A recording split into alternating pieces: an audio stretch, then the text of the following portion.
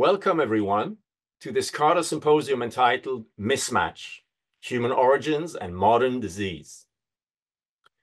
CARTA is a UCSD Salk organization that is led by a group of scientists, including myself, Katerina Semendeferi from anthropology at UCSD, Jerry Joyce from the Salk Institute, Rachel Mayberry from UCSD Linguistics, and Alysson Muotri, Professor of Pediatrics and Cellular Molecular Medicine at UCSD. The goal of anthropogeny, explaining the origins of humans, is attempting to answer these two questions. Where did we come from? How did we get here? And in the process of answering these questions, we believe we will generate important insights into urgent questions, such as how do we sustainably feed 9 billion people?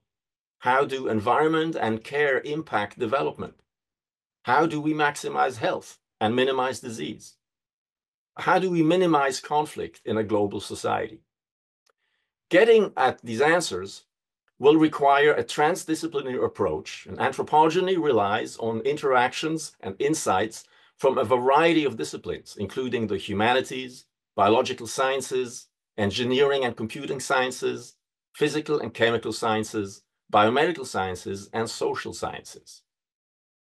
CARTA is supported by our major sponsors, Annette Seymour Smith in memoriam, Nisi and Ajit Varki, and an anonymous donor, we also have benefactors who continue making CARTA possible, and many, many patrons that have generously uh, supported CARTA. I would also like to acknowledge the additional support for the symposium by Ingrid Benirschke Perkins and Gordon Perkins, who kindly provided closed captioning for this symposium. Your support drives discovery of where we came from and how we got here. So we hope that you will consider supporting CARTA as well. Special thanks to the CARTA staff, Linda Nelson, Jesse Roby, and Ella Ryan, Kate Kaya from the San Diego Supercomputer Center, and UCTV, Jay Brown, Marcy Bretz, Keith Upton, and Michael Weber. I hope you realize that you can view all 50 CARTA symposia from the past, and they've had over 43 million views for free uh, on several platforms. And with that, it's my great pleasure to introduce today's two co-chairs, Steve Stearns, Emeritus Professor from Yale University, and Ruslan Medzhitov, also from Yale uh, School of Medicine. Please. Pascal, thank you for that kind introduction.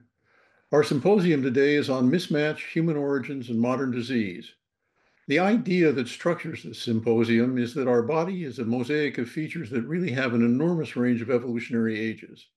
Our participants are going to be exploring the most important consequences for bodies that are now responding to civilization, by which I mean agriculture, industrialization, technology, and modern medicine. Here I sketch what we looked like when those evolutionary changes occurred, and I signal a few of the consequences. The first really important feature is multicellularity. It evolved about 800 million to 1.5 billion years ago. Now, while it made possible tissues, organs, and large size, it also opened the door to cancer. The figure shows just one of several hypotheses for how it happened. The second really important development that has modern implications is the evolution of the vertebrate adaptive immune system. That happened about 450 million years ago. Now, while it protects us against rapidly evolving pathogens, it also enables inflammation and autoimmune diseases. Now, what we looked like when that happened was something between a lamprey and an early jawed fish. Here are a few of the early jawed fishes. The third thing that we're going to focus on is lactation. Now, milk evolved together with mammals about 200 million years ago. Breast milk supports infant growth and disease resistance, but when it's not used, allergies, obesity, and metabolic disorders increase. When milk evolved, we looked like the ancestors, ancestors of monotremes. We don't have a good fossil, but here is a representative modern spiny echidna. Menstruation evolved about 44 million years ago in the common ancestor of the catarrhine primates. It may have evolved as a mechanism to help control the quality of offspring. And while it has that major benefit, in humans it causes significant discomfort and social issues. The photos illustrate two examples of catarrhine primates. Highly invasive placentas evolved about 15 million years ago. Now, invasive placentas were the ancestral state in mammals. So they are 200 million years old but they became highly invasive in our lineage about 15 million years ago. While they do improve fetal nutrition and growth, the capacities of the cells that form them open the door to metastasis. When that happened, we looked something like Pithecus, who is actually not our direct ancestor, but the ancestor of orangutans. Bipedalism evolved about 7 million years ago. You know, it allowed us to run fast and to handle objects with our hands, but it made childbirth more difficult and it increased the risk of back and joint pain and of spine disease. When that happened, we looked something like Sahelanthropus tchadensis.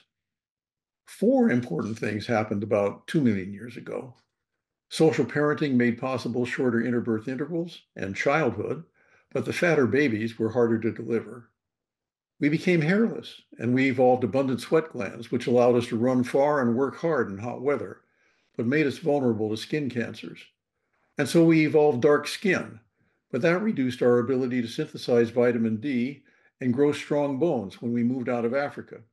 We adopted the hunter gatherer lifestyle that continued to the emergence of agriculture and became the reference lifestyle to which we now contrast the diseases of civilization. At that point, we looked like Homo habilis.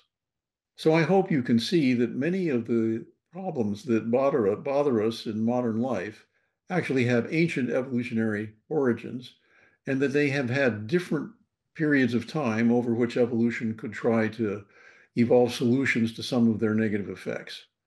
And of course, none of them have had much time to evolve in, in reaction to civilization.